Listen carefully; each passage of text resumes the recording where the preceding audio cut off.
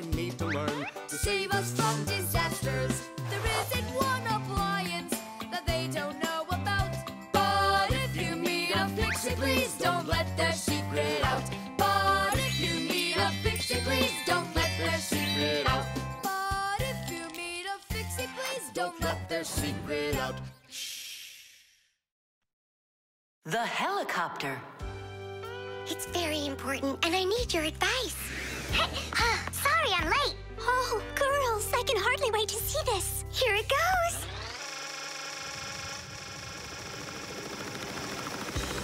Hey there! Where did you get a helicopter? Professor Eugenius threw it away, but we, we fixed it. Come fly with us. Hop in. There's no way. We're busy. Doing what? Something important. Go find somewhere else to fly. You got it. No problem. Now back to our job.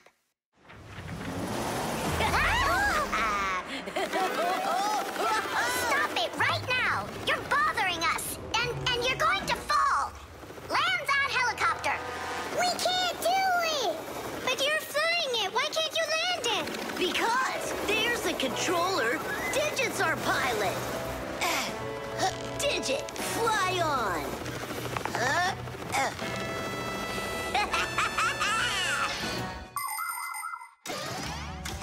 Fly with the help of propellers. The biggest one is called the main rotor blade. When the engine turns it, the rotor pushes the air with such a powerful force that it lifts the helicopter up off the ground. Of course, helicopters can't fly as fast as airplanes, but they have the ability to easily land on a small patch of ground. And unlike airplanes, helicopters can hover in the air for a long time and even fly backwards. Digit, turn us to the left. Huh? no! Turn right! And higher! Digit, Fire and Nolik are being dopey, but you're smart enough to know it's dangerous. Just land it. Hang on, hang on. This is one amazing rotor-driven machine. Leonardo da Vinci himself had a design for one, and now look who's controlling it. It really is impressive. You're a total ace on that controller. And so smart. And brave. the girls really like boys like that. That's how I roll. Sure, yeah, you're great. Now land it. Digit!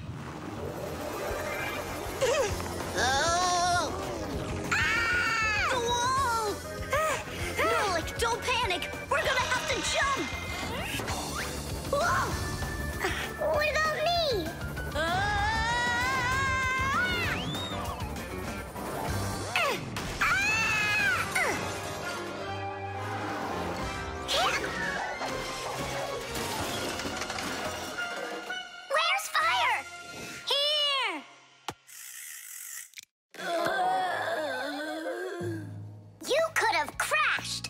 And if it wasn't for us, If it wasn't for you distracting our pilot, everything would have been okay. a real pilot, you know, shouldn't get distracted. And first he has to learn how to fly on a simulator, right, Digit? Uh-huh. That's true, but we don't have one. Don't go anywhere.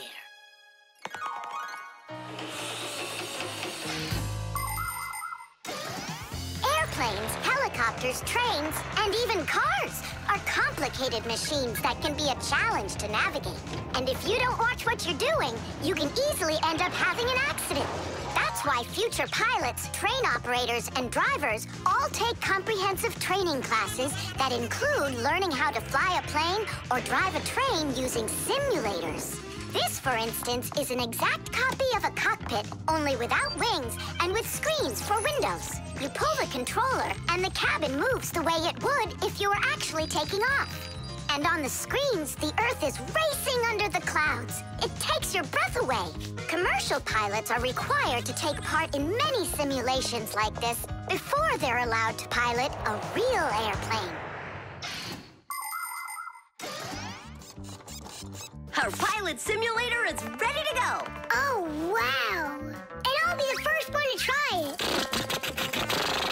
Here we go. Ah, kids. Right, Digit?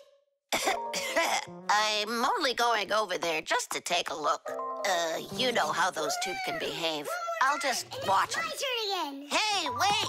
It's my turn now! Boys are just silly. They're never serious. They just joke around. Speaking of serious, we have some important business to take care of. You're right.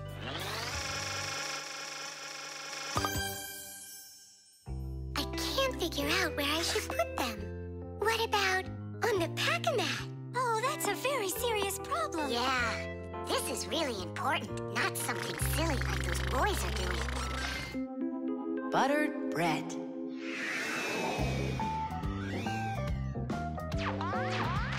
Thomas, it's not right to eat when you're playing a game. I know your mom told you that. Come on, stop distracting me. Oh no, that's the game.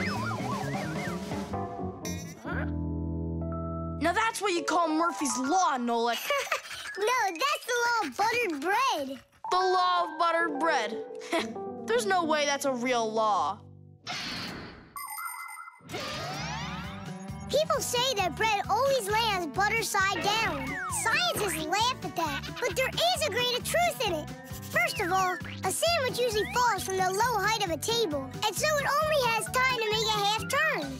Second, the side of the bread with the butter is heavier, and that pulls it towards the ground.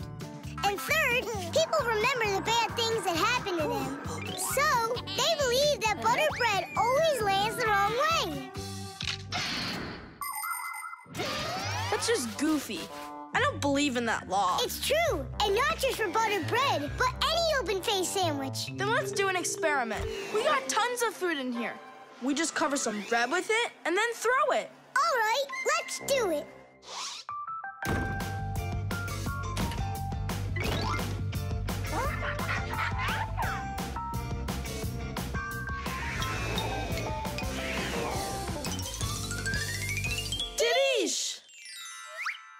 Well, jelly side down.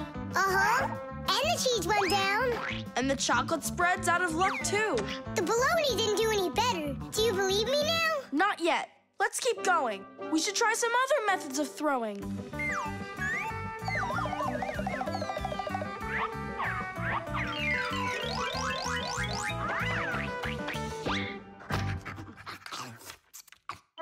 Oh, that's everything. There's nothing left. No, there's still some turkey. Where did you see that?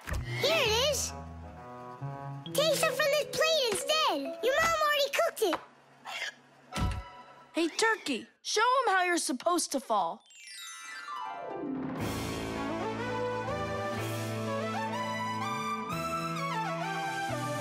Aha! Didn't I, uh, tell ya? You vandals! Why are you throwing food all over the place? It's simply awful. Hey, give it back! Please, we're testing the law of buttered bread. You gotta be kidding. Your mom is gonna love you for that. Can you please put the sandwich on a plate already? It's too heavy for us to keep holding it up. Good. There you go.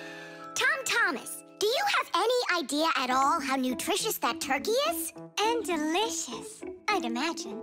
And turkey's a healthy food that has lots of protein, vitamins, and what do you call them? Microelements. That's not all. Eating that turkey could make you grow. If you eat that sandwich, you could grow a centimeter. I think that's true. Yeah, and it'll give you some extra strength, which you're gonna need when you clean up your kitchen.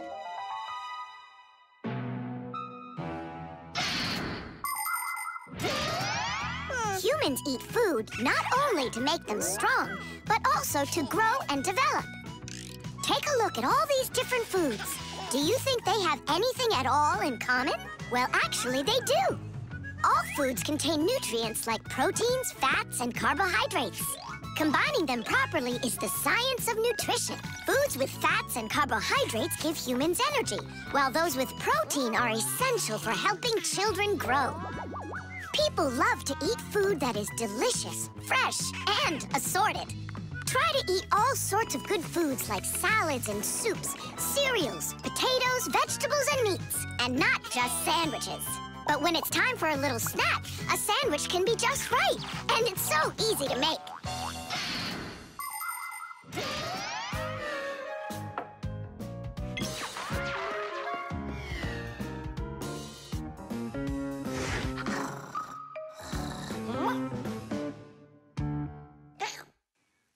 Happened to all of our bread?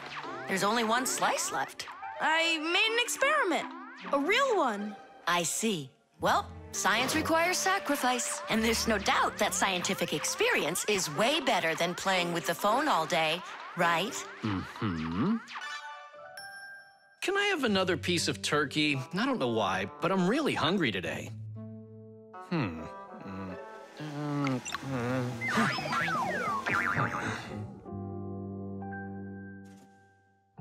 that's what I call Murphy's Law. No! That's what they call the law of buttered bread, Dad. Did you hear? The law is a law.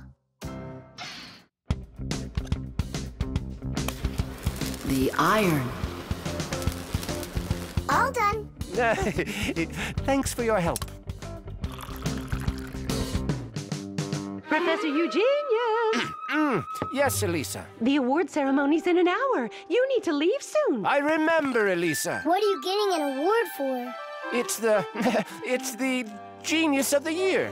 Not too modest, but fair, and well deserved. Wow. And they're giving it to you? Well, yeah. Will they show it on TV?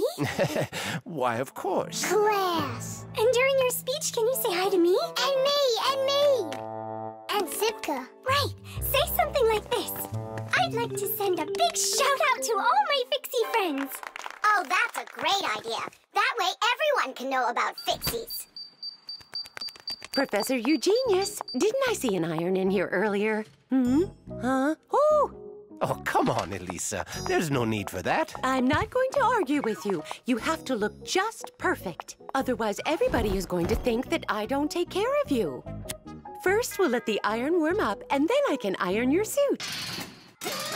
The most essential part of an electric iron is called the heating coil. It's hidden inside the iron sole plate. When the iron is plugged into an electrical outlet, the coil gets hot and heats up the sole. People use a hot iron to remove the wrinkles from their clothing. Irons also have a water container. When the water gets hot, it turns into steam. The steam comes out through the holes in the iron sole, making it even easier to remove wrinkles. Wow, wow, that sure is hot. All that's left to do is pour some water into it. Professor, this is water, right? Yeah, yeah, it's water. That isn't water. No, no, no, no, no, no, no, wait, wait, wait. It's not water. It's not water. Then what is it? Well, it's, uh, juice. Juice? Yeah, juice. Iron won't last. Phew. And it smells like crud. I broke the iron. It's awful. No, no, no, no, no, Elisa. Don't be so upset. Don't be so upset. It's the Genius of the Year ceremony, and you'll be in a wrinkled suit in front of the whole country. Oh, I won't survive. I, Elisa, hang in there. Be careful. Elisa.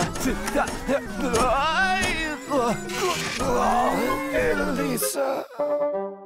Professor Eugenius, are genius. Are you all right?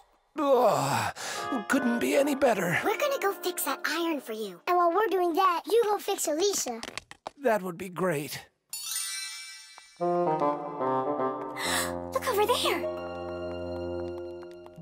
I'll fix the contact. You and Nola can scrape that burnt juice off the iron. Mm-hmm. Mm-hmm.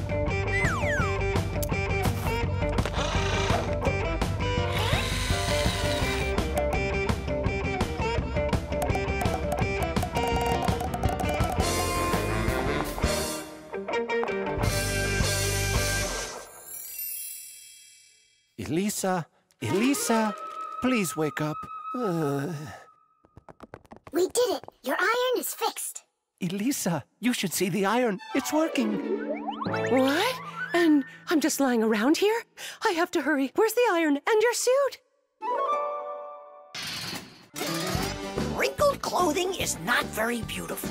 And that's why, since ancient times, people have been trying to find different ways to get rid of wrinkles. For example, long ago, people would put their wrinkled clothing under a heavy, flat rock. In ancient Rome, people used to beat their crinkled garments with a metal hammer. And in China, fabric was ironed with hot frying pans. Irons with a shape like what is used today appeared during the Middle Ages. They were made out of cast iron and needed to be heated up on a stove before they could be used. Later, people came up with irons that were heated by putting hot coals inside. And finally, in the 19th century, a convenient electrical iron was invented and has been used ever since. And the prize for Genius of the Year goes to Professor Eugenius! Bravo! Bravo, Professor!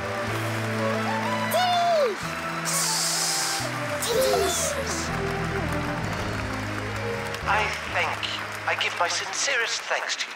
And may I take this opportunity to send my greetings to Fix. Uh.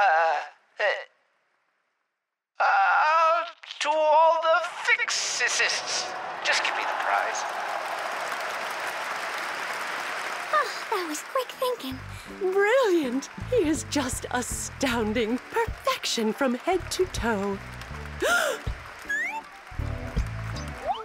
well, practically perfect.